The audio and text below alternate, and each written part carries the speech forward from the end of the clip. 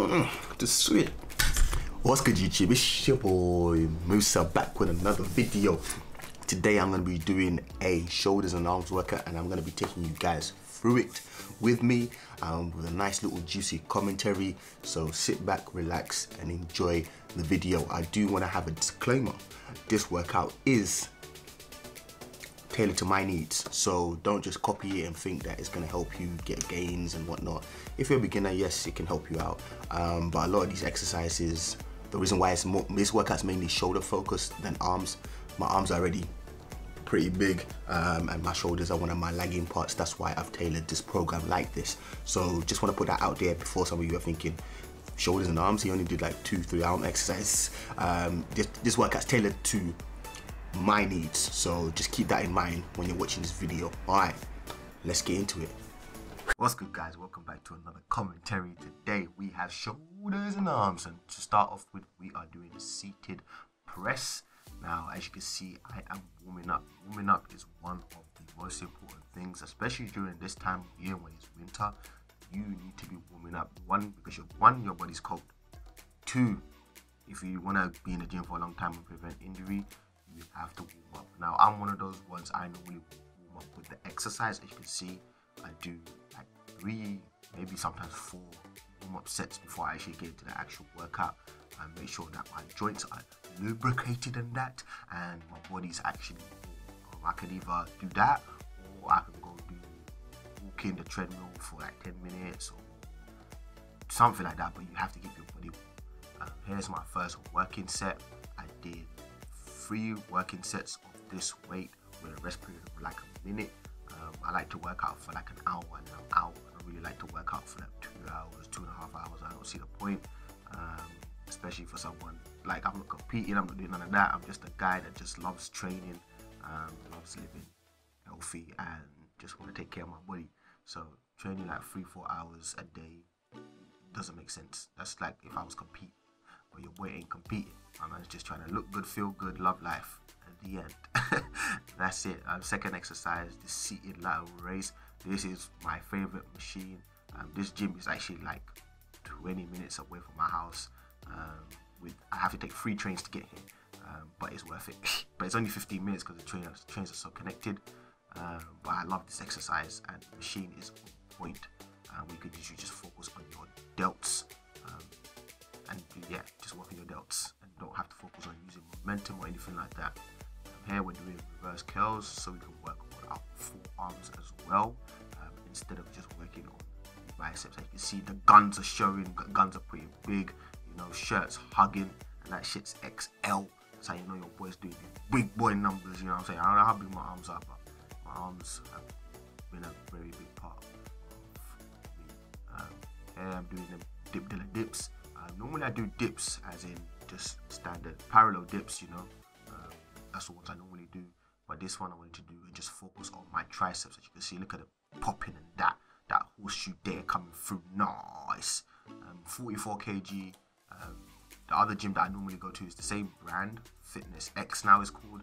They don't have weights that go up to 50. This gym actually has weight that goes up to 50 kg, and the other one only has up to 40.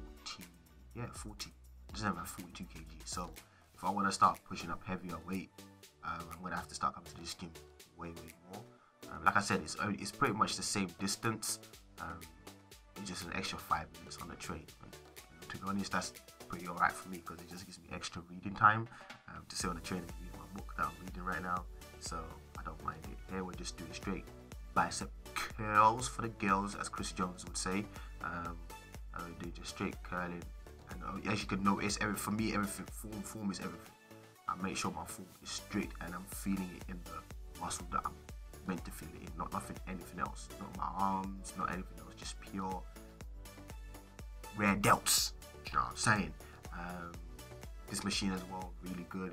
I love it. Yeah, man. Right now I'm just working on a lot of my weak points, as you saw me doing reverse curls. My forearms, I want to get them up. Here, uh, reverse pec deck rear delts, you know what I mean? Rear delts is one I feel like a lot of people neglect. Um, I've been working on my rear delts for the last year and they have come a long way. Like when I do a double bicep um, pose, you can really see that, okay, this guy's been putting in the work on his delts. Um, you know, I feel, still feel like my side laterals can do a lot more, so I might have to be adding a little bit more volume to those, a couple more reps and sets. I don't feel like going too heavy when it comes to lateral raises. Um, I don't think it does nothing because it compromise your form. So I'd rather work on my form and make sure I'll just give it more reps. You know? um, I feel laterals are, are, are difficult one. You know what I mean? Unless you're juicing to get your your side delts juicing or just genetically gifted to get your your side laterals up and rounded, it's a lot of work. but that was it for the workout, guys. Hopefully, you guys enjoyed this little commentary, and I will catch you guys next video. So that is it for today's video. Hopefully you guys enjoyed that workout. That was a solid workout. My body's finished. Um, I'm happy with it. Hopefully you guys enjoyed it. Um, maybe picked up on some few new exercises. Even though, as you may have noticed, I stick to the basics. I don't really do anything like, oh, this is a new exercise. It's gonna make you make mad gains. No, keep it simple. Keep it strict. Um, focus on my form. Focus on the contraction and just make sure the intensity is high as well. My sessions normally last around an hour to an hour and a half at max. Um, if I'm including cardio, it can go up to two hours, um, but that's that's just standard. Um, some people like to train longer, but the resting time, and all that stuff is a bit longer. Whereas for me, my resting time is pretty short. It's around a minute at max, sometimes 30 seconds, bam, bam, bam. Um, I like to get in, get out, and then come home and do what I need to do. You know, man's got to work. Um, so knocking it out first thing in the morning is still something I'm getting a, a, accustomed to. Um, I'm normally usually usually working out at like 11, 12 once I've had food in me and everything. All these workouts that I'm doing are all fasted. Um, the only thing I have in the morning is a coffee and then I go and do the thing. So yeah, of course that can make a difference, but obviously your body adapts and yeah, I want to end the year strong. That's my main goal.